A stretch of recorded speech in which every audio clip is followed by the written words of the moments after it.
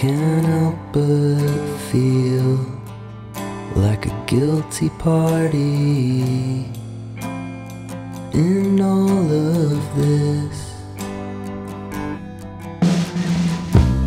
But I kind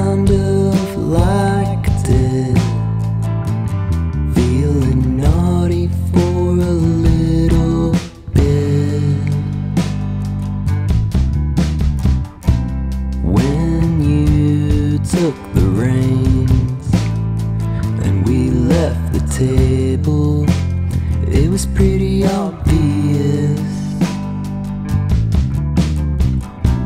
I guess since we're both out of the stable,